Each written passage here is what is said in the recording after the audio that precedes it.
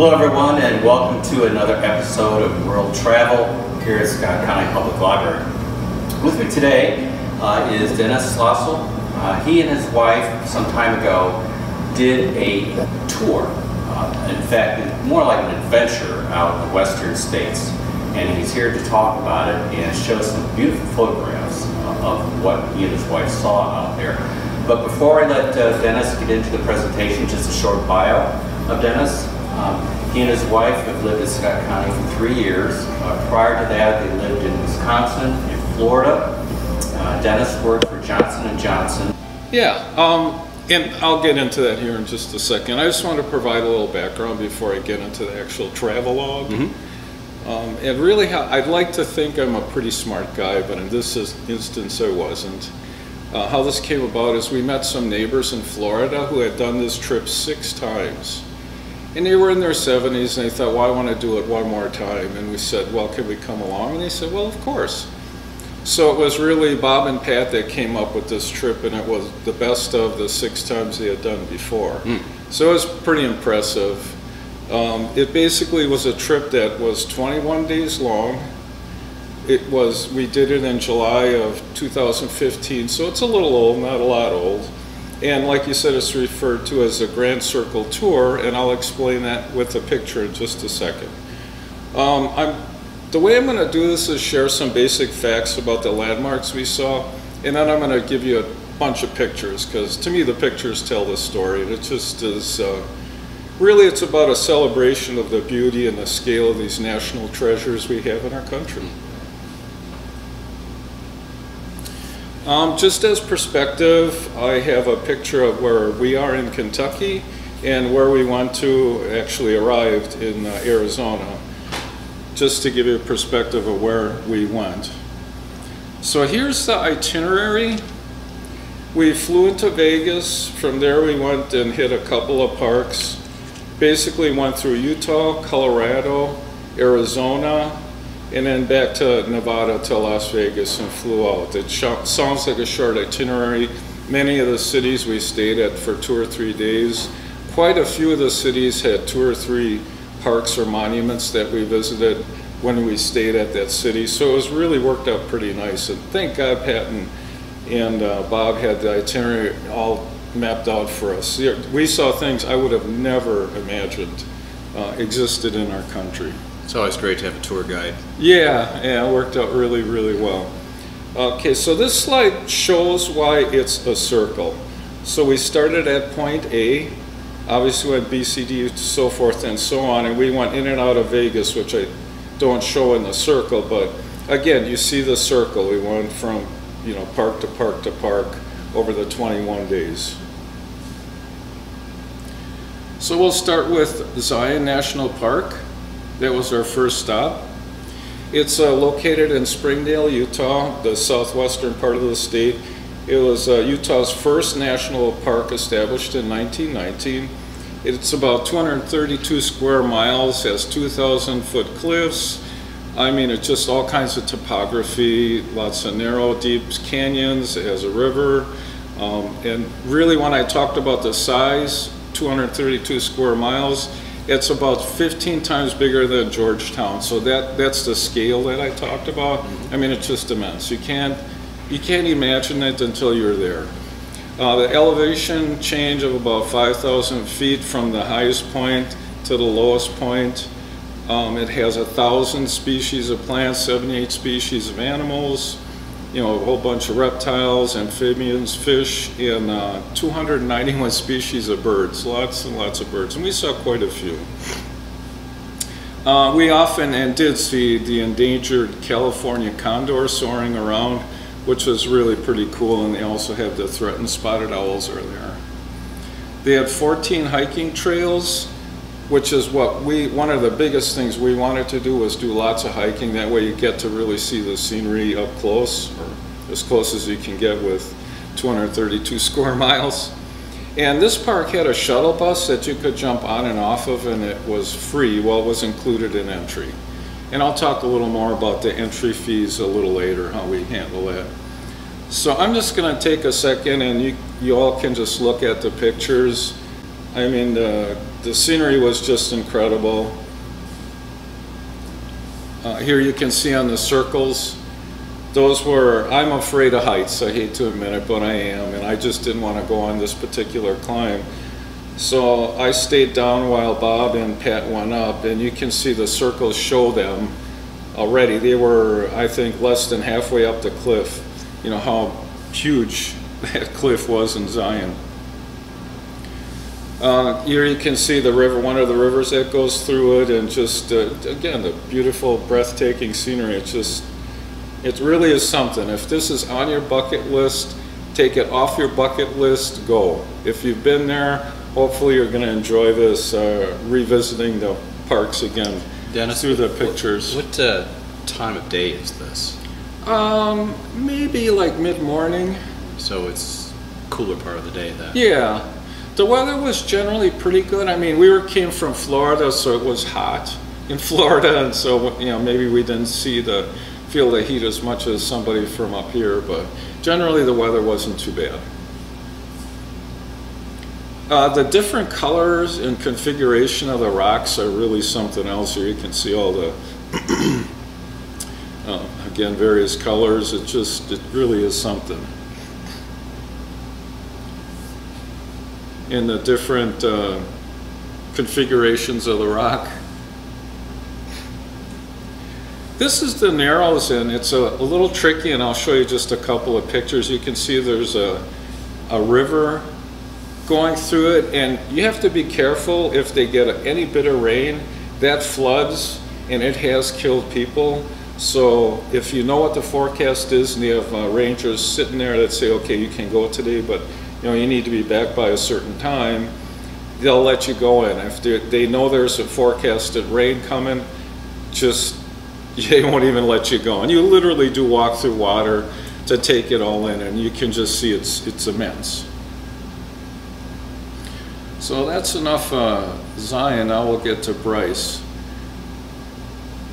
I hate to say this because I don't want to benchmark anything against the Grand Canyon, but Bryce is one of my favorites. It's and you'll see in the pictures. It really is something. Uh, it's in Bryce, Utah, in the southwest part of the state. I think we stayed at the same hotel and saw both of these um, parks. It was established in 1924, so it's quite old. It's at the top of the grand staircase, and it's not just a single canyon. It's a series of amphitheaters and bowls, and you'll see it when you see the pictures, what it really looks like. And the one distinctive thing it does have are hoodoos, and they're columns, irregular shaped columns of rock. Again, you'll see those, and that just comes through, you know, weathering and erosion, all that the geological stuff I don't quite understand. So it's 56 square miles. It was very small. You could walk around quite a bit of it. Um, it was reasonably high again, and it had 15 hiking trails again. We probably had three or four uh, the day or two we were there that were easy or hard. And you could easily drive through it. It had 18 miles of roads. Um, there was, I don't think there was a bus service, but driving through it was very, very easy. So this is Bryce. Again, you can see all the sand configurations and rock formations and all the vivid colors. And again, I tried to get the scale. If you look in the background, I mean, it just, it's immense, everything you're looking at. And all these uh, columns, you can see one in the foreground a little bit. Those are the hoodoos, and we'll get better pictures of them shortly. If you go look towards the left, you'll see a bunch of them. Dennis, uh, the word hoodoo, is that uh, an Indian word or Spanish word, or what is that? I'm guessing it is. I really didn't look that closely into it. Um, it certainly sounds like it might be. Yeah. Uh, and here's the amphitheater that they talked about, and you can see the hoodoos very clearly. I mean, they look small, but they're obviously pretty massive once you get in there. Uh, another really great picture, I think, highlighting some of the different colors you're going to see at the, in the amphitheater. And just a real close-up of the hoodoos. It was really pretty cool. We got to walk through them, you'll see here shortly. And here we are going through some of them, just walking through the amphitheater.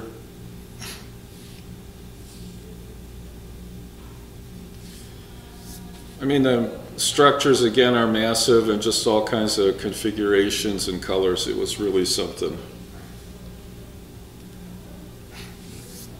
And here you can see just how massive some of these walls are, where the hoodoos are, the base of the hoodoos.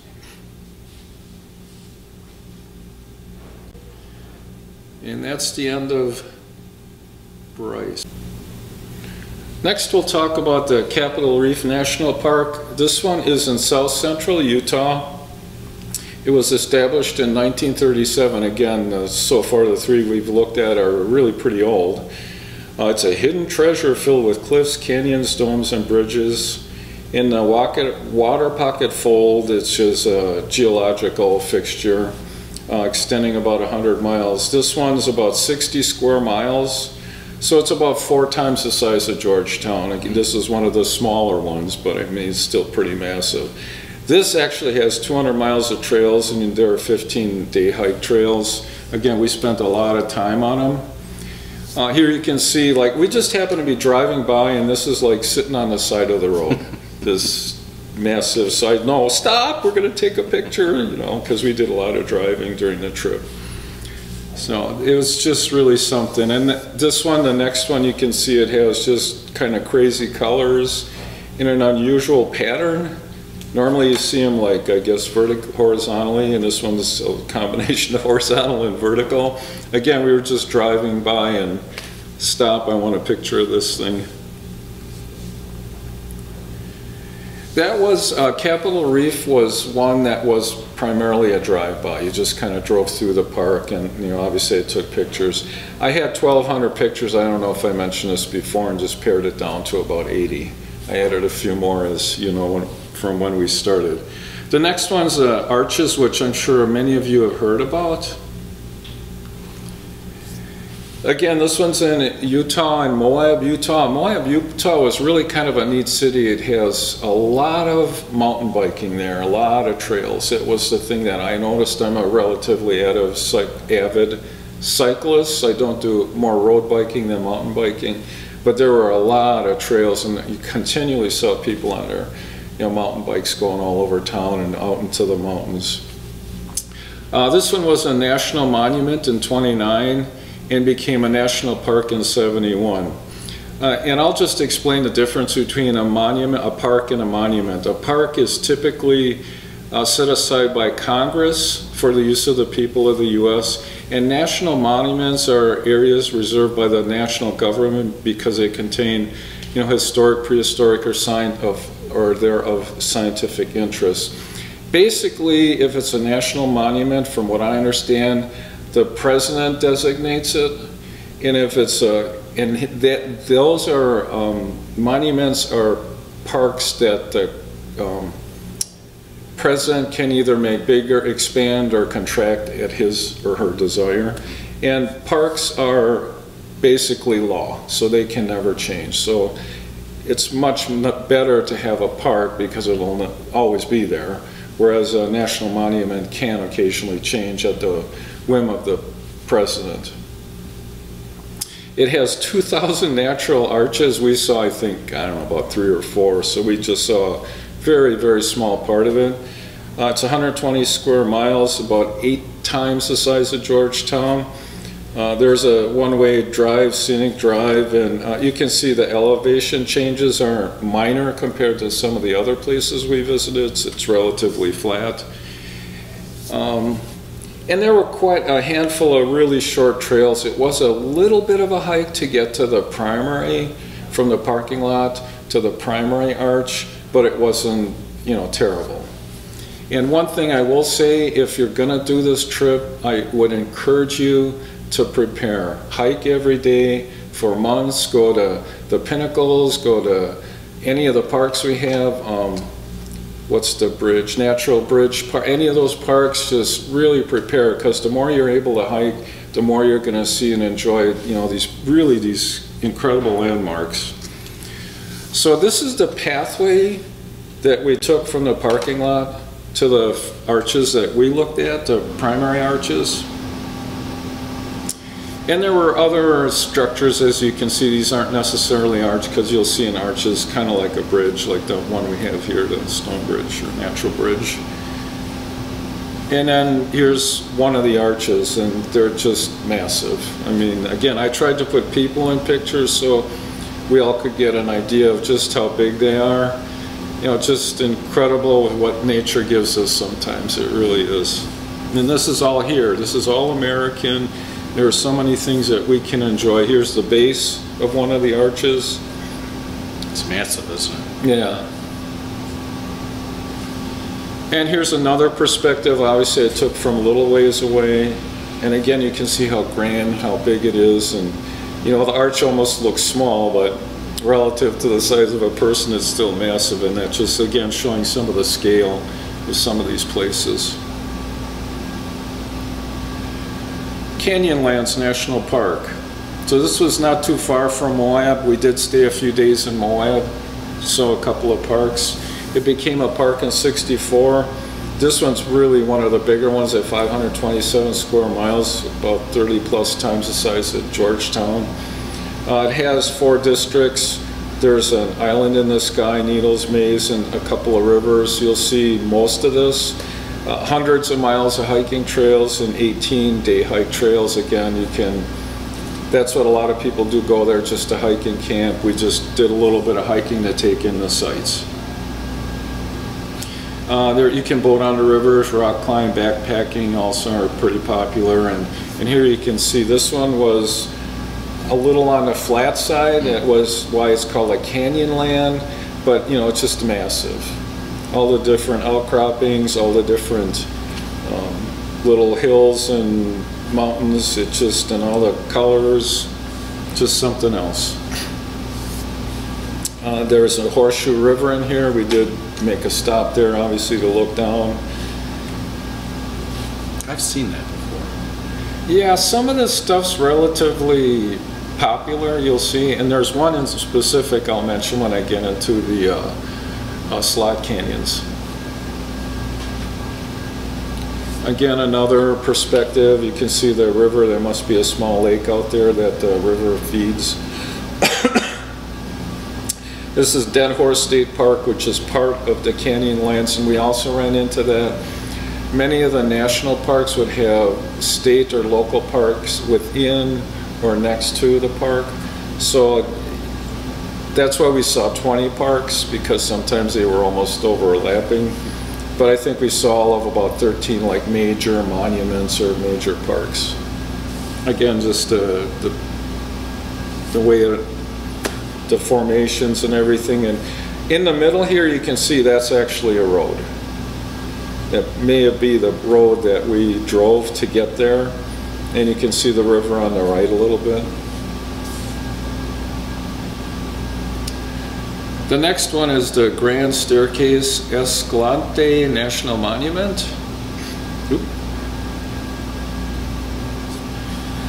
Uh, this one's in Utah, still in Utah, almost at the border of Arizona. It became a national monument in 96 and it was expanded in 17. It's a million acres. I mean, this was by far the biggest. We saw parts of it, but you know, it's relatively flat and obviously very expansive. And, you know, I'll show you some of the um, different parts of it. You'll, you'll get a good sense of it through the pictures. It's about the size of Rhode Island and 100 times bigger than Georgetown. So again, it was really massive. Uh, the Trump administration, it will be reducing it by half. He came out and said that a year or two ago. It does include Lake Powell, which folks may have heard of, that I think is in Arizona, and it has another horseshoe bend. So that's a, another one like we saw in the previous. 20 day hike uh, trails, lots of, you can fishing, boating, kayaking, mountain climbing, mountain biking, all sorts of things. So here's the first picture. You can see it's a road there kind of in front of us. Maybe the rocks aren't quite as colorful, but I mean, it's just massive. And, and you'll see there are quite a bit of color in the rocks. Again, well, this was one we drove through. There wasn't necessarily a a contained like canyon or something. So I'm just showing pictures as we were driving along. Again, this massive structure would just, you know, go around the corner and there it was. Here you can see the road going through it. I'm sure this is one of them that we drove. There aren't many roads through some of these beautiful parks. I wanted to ask you, what, uh, are the roads in pretty good condition? Yeah, They are? very good condition. There was only one Moki Dugway, and I'll talk about that. It was really pretty, that one was another really interesting one. Mesa Verde National Park. Uh, the Spanish meaning is green table. It's known for its cliffside structures. You'll see those in just a second. Uh, the park has more than 5,000 sites, including 600 cliff, cliff dwellings and 40 miles of roads. It's the largest archaeological preserve in the U.S. It's near Cortez, Colorado. It became a park in 1906, so so far this is the oldest. And its size is about five times the size of Georgetown and a variety of trails and even some guided trails. Everywhere we went, there were guided options available. Um, the folks we went with had done it so many times, we just, they just pointed us in the direction and, you know, there we went. So here's again some more of the formations. This one was a little unusual how it kind of sat up on top and just a different type of formation. And you'll see underneath the surface there, vaguely, you'll see people. So again, just you can see how big it is. And then also the structures where uh, folks lived. And we'll get in there and there they are. This is where families and lived and it's really something. All the different structures are still there and it's all carved, I'm thinking, and Are these uh, Pueblo Indians? I think so. Because I've seen something like this in, uh, near Flagstaff, Arizona. Okay. Yeah, this one, I, well, this is in Utah, but it's right next to Arizona, so it's probably in the same general area, so I would, I would imagine yes. Very similar. Yeah, the Cliff Palace. Some of the trails were pretty interesting. Here was one where if you're just slightly overweight, you'd have a hard time getting through it. Thankfully, I, my diet was paying off and we both got through, Mary and I. And hieroglyphics, I think that's how you pronounce that. Oh, this had something to do with they were predicting that UK was going to have how many championships? Something along those then, lines. They were prophets back then. The next one we'll look at is the Mexican Hat Formation. This was just one rock we drove by on the way in between two different uh, locations. This one's a little different. It's you'll see it literally looks like a sombrero. Uh, it's 60 feet wide and 12 feet high. The hat has two. Uh, you can climb on climb it. It's uh, has frequently been noted on the list of unusual places, place names. It's near Bluff, Utah. Uh, it's a self-governing entity, which is got a census designated place. I'm not exactly sure what that means. It just stuck out at me when I read about the background. It's a pretty small, and it, it- like I said, you basically just drive by. So this was on the way to Mexican Hat. And again, you can see the unusual colors and the sediment and really how it just fell into place, I guess, through thousands, millions of years, I'm guessing. And there's the hat. And it does look like a sombrero. This is a nice picture with all the contrasting colors. And here it is up close. It wasn't huge, but it was still, you know, pretty massive. Certainly is different, isn't it? Yeah, exactly. Again, that was just a drive-by. Now, what causes those formations? Uh, wind and sand, or I'm guessing, I, I'm not a geologist. I just didn't do that much investigation into it. The trip was primarily about taking it all in. Yeah. So the next thing we did was uh, Moki Dugway, and, and this is a road. It's really interesting. It's just gravel. Um, and this was another one that we had our tour guides, Bob and Pat had not shown us this, we would have never have found it. Uh, it's part of the Bear Ears National Monument, 2,000 square miles, so I mean, it's massive. Uh, this was one that Trump's gonna reduce by 85%. It was constructed in the 50s, so it's not extremely old, and it's basically a path or a, a very narrow, windy road that uh, folks in the 50s used to haul ore from a mine to uh, near the Mexican Hat. It's in near, it's in Utah. Uh, what Moki refers to, I just, the name is kind of interesting, and that's why it Sounds was. Hawaiian almost. Yeah, I know, yeah.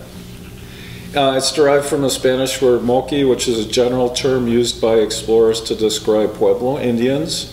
Dugway is a term used to describe a roadway carved from a hillside. So, and that's exactly what it is. This was, again, I hate heights.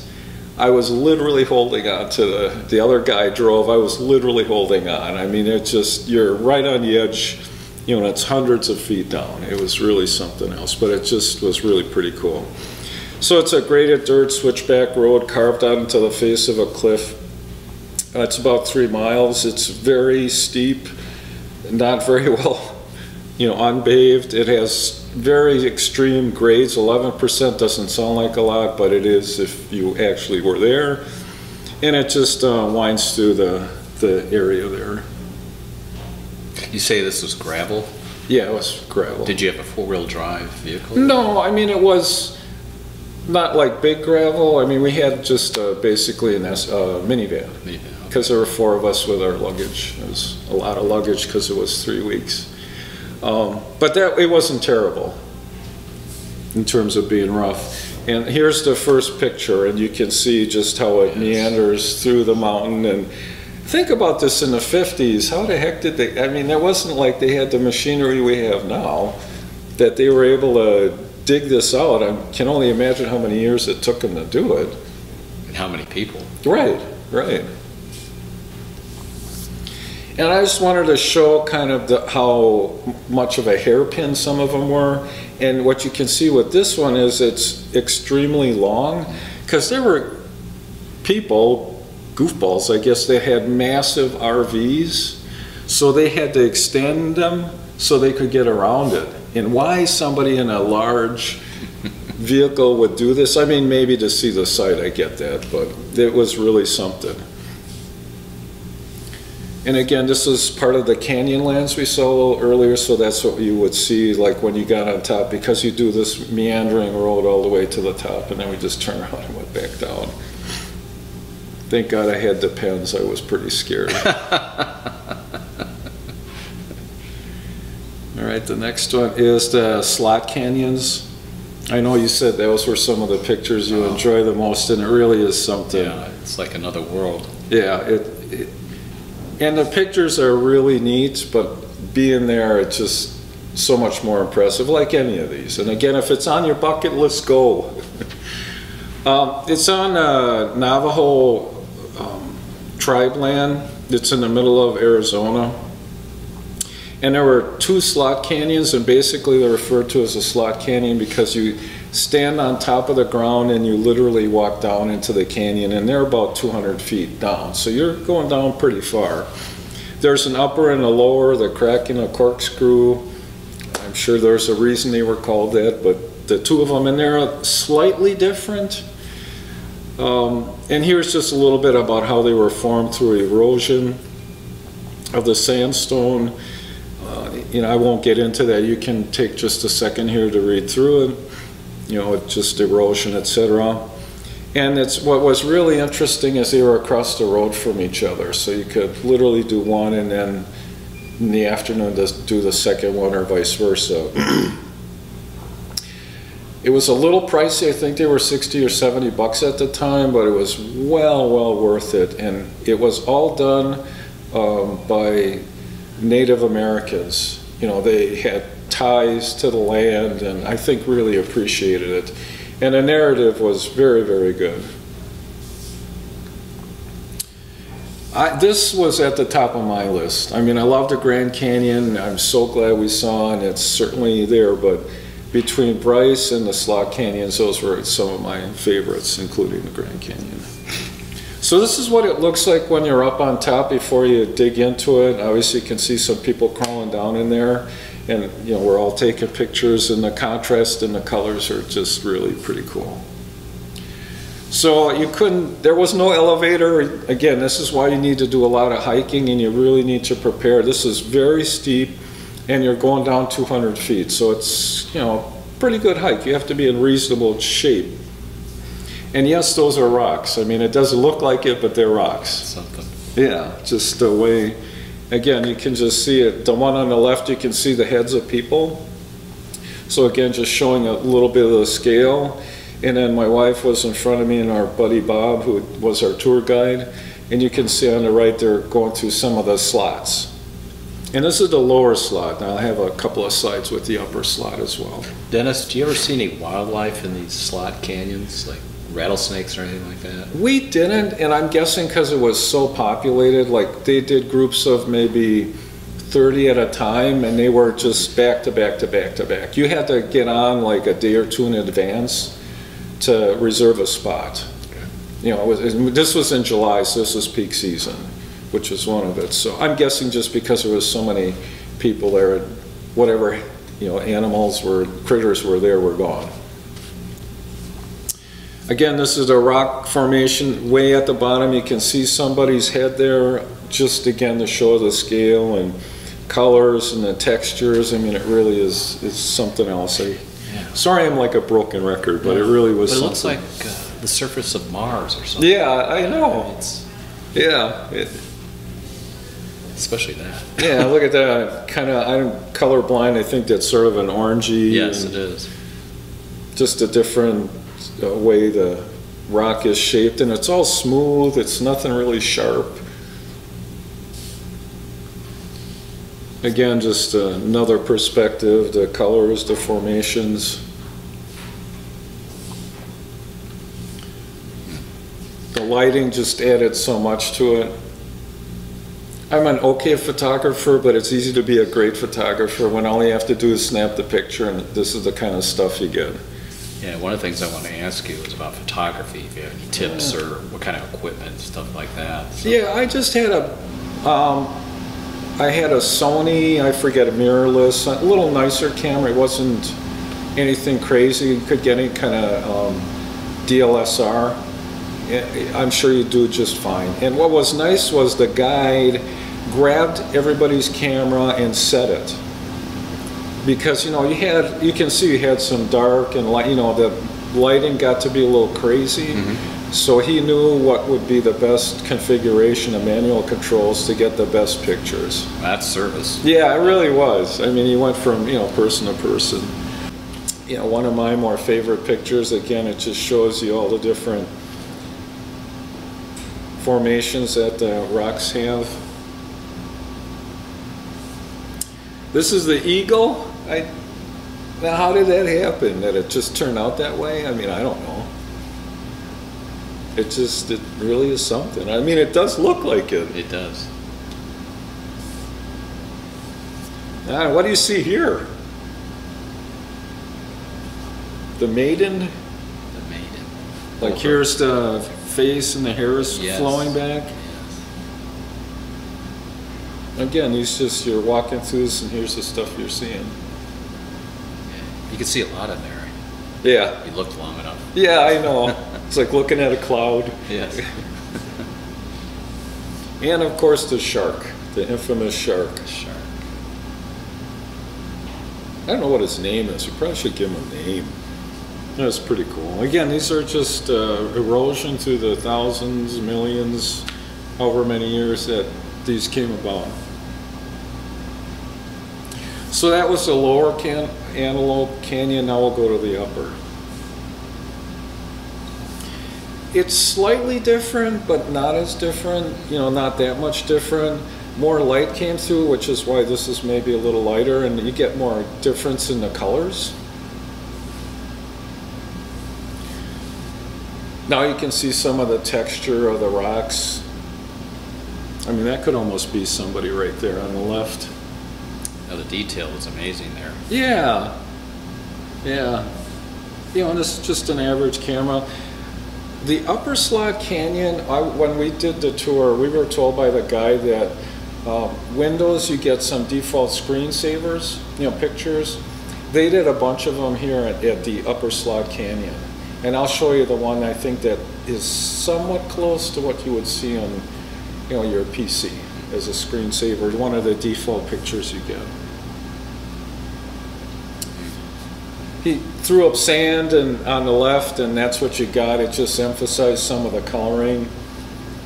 Uh, this one, some of the spaces were a little smaller. You can see it's not quite as massive. Again, on the right, you can see just the different colors.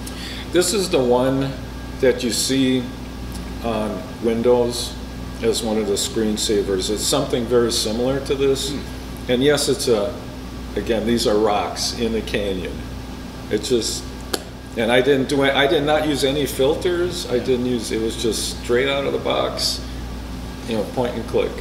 You know what I've seen? I've seen a man's face looking at us. Uh-oh. There's the mouth. Over here on Yeah, the left? Yeah, two eyes, and there's Yeah. a mouth and a nose. Yeah, that one protrusion or Yeah. whatever there. Yeah, I mean, uh, I'm sure there were many of them. The three they pointed out were on the tour, and I mean, they were really, really like the size of this room big, like the eagle and uh, shark and stuff. but yeah, just in, on the left, upper left, you can see some of the detail of the rock, knowing that it is rock. And this is the Upper Slot Canyon. So you can see why those were some of my favorites. That and Bryce, I just like the colors and everything. And finally, we got to the Grand Canyon after, I don't know, 18 or 19 days. It's in Grand Canyon, Arizona. And I didn't realize this, but they're really a, a conglomeration of parks and monuments in it. It's uh, established as a park in 1919. There are two parts of it, the north and the south rim. I think the south rim, it, yeah, it's the most accessible, and we spent most of our time there. It was easy to get around. We literally just drove it, and they had ample parking.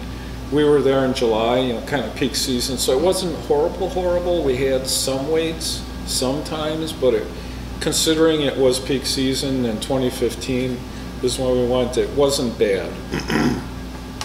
you know, you're up there pretty high at 7,000 feet. The rim, north rim is just a little higher and isn't quite as popular.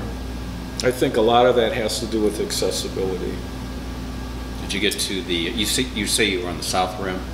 Primarily. We did get to the north. Did you uh, get to the El Tovar Hotel there on the south rim? I don't, is, I don't know. It's we were there many years ago. Oh, okay. And it's a converted hunting lodge. Oh, okay. and it's magnificent. It has a great view of the uh, South Rim, and they have a great dining room there. And at that time, they had a professional chef. Oh, so You wow. had, you had a great meal, Right. And you had this great view. Yeah, yeah. something. We did stop at one of the lodges and had lunch there, and it was extremely impressive. And you could tell it was from the 20s or 30s, and they still kept that old charm. So that may have been it. I don't know.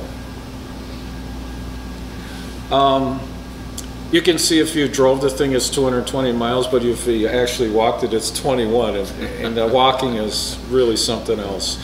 There are 13-day hike trails. The rim has six. Uh, you have to be very careful, careful when you hike it. About 250 people get rescued every year. Um, and I think you actually pay for it. And when you're hiking, you, every, let's say half a mile or so, there's a ranger there and they look you square in the eye and make sure you're still there because you get so easily dehydrated. And, you know, it was pretty hot. It was in the 80s when we went. Again, it was July, it was su- summer. Um, so you have to be very, very aware of that. And they'll chase you right back up if there's any kind of a problem. We hiked the Bright Angel Trail, which is the most popular, and it's, it's extremely steep. and I'll show you some pictures of that. So here's uh, just one of the pictures. This doesn't show necessarily the scale as much as some of the others will. Uh, but again, you can see the, the, terrain and the different picture, um, colors and contrasts. Um, if you start on the left, you'll see the, there's kind of a valley, that's where the Colorado River is. And I'll, I'll show you, there you can see it much better. You can see a little bit of it on the left, kind of mid, middle left, and you'll see the valley where the river kind of goes through. This is, you know, a much better picture to show you how massive this thing is. What, what time of day is this? Is this around noon or something? Yeah. I don't remember if we did this before or after our hike. And we spent a couple of days. This was another one where we, I think we actually spent three nights. So we went back a few times. Because what I remember, uh, the contrast of colors, uh, during the noontime, you got all the grays and blues in Mm-hmm. the rocks, and then during uh, sunrise and sunset, all these brilliant oranges and reds came out. It was magnificent. It really. Yeah, we didn't make it early or late, unfortunately. And I've seen pictures, just incredible pictures. Yeah. you can see again, we're probably at 7,000 feet up, looking down at the river. Just another perspective. This was at the start of the Bright Angel Trail. And I'll show that just shortly. You know, the sky and the uh, different colors and contours. All these little lines you're seeing, those are all the trails. I mean, there are just all kinds of them. Um, down here on the left, on the bottoms, towards the bottom, this is where the Bright Angel Trail is, and this is the stopping, like the midway stopping point. That's where the ranger looks you in the face. Well, they're all along the way. That's like three miles down. So you've seen a couple of them on your way down, and you'll see them on the way back. So this is the Bright Angel Trail. I know it's a little difficult to see, but it's right in the middle. And if you start where the trees are, you can see the path. And there, that's the outcropping that I pointed to a little earlier. That's sort of in the middle, um, just up a little bit. And there's a little um, building you can stop at and sit down for just a minute. There, you know, no refreshments or anything, but you can stop and get in the shade. And that was three miles. So we did a total of six, and it was exhausting. I mean, I don't mind. I try to be active. We do a lot of walking. I ride my bike a lot, but it was really tough. So it was six miles down. It's three miles down, three three miles miles back. back. And there are points when the grade is pretty steep. You know, and there are points when it isn't. And it's full of people. It's kind of fun. You know, everybody's having a good old time. But again, if you're going to do something like this, if you want to take it in like we did, you really need to do a lot of hiking, really a lot of hiking. That way you can enjoy something like this. You can go another three miles down if you um, look up and down. You'll see the path keeps going down to the Colorado River. And there's a place you can stay at overnight and then hike back. We did not do that. The people we traveled with were, they were older, so they weren't interested in doing anything like that. If we ever did go back, we probably would do that. Because then you can take in that whole trail and really, you know, get down to the bottom. My son did it when he was in high school. That was his class trip. He went all the way down and, and uh, camped and came all the way up. And he said it was really pretty something. And it was, even for him at 17 years old, was pretty exhausting. It was pretty demanding. Now, do they still use donkeys for some people? Yes, that's the alternative you do have. You can hire them and you'll see them occasionally. They're on a different path, but they'll be, you know, going down and up just like we are. Yeah, that is the Bright Angel Trail.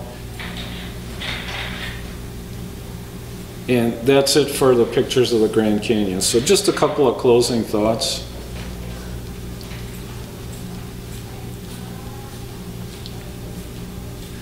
Uh, If you considered going to the Grand Canyon, I really would encourage you to do some version of the Grand Circle. You don't have to see 20 parks like we did, but they're all really close. We drove, um, I don't know, like 1,500 miles. I mean, it was a lot of driving, but generally we never drove more than an hour or two. We had one or two instances where we drove four or five hours, but they really are pretty close. And the hotels were, you know, we stayed at the Motel 6 and just really discounted hotels because we wanted, we weren't in the room other than to sleep. So again, I would just encourage you to do as much as you want. I have the itinerary available. If anybody wants it, I'll share my email address. If anybody has questions, and I can maybe explain, if you only could do half, what would you do, or, you know, any kind of version of that. Uh, what we did is ahead of time, we plotted it all out, you know, Bob, we took out a map, we got on the phone, and we spent the whole afternoon we're you know, going to stay here and then we're going to stay here. And we just called the hotels and mapped them all out in one day and got them all locked in. We did that in spring and we went in July. You know, obviously they get very busy. I want to say we did it in maybe January or February.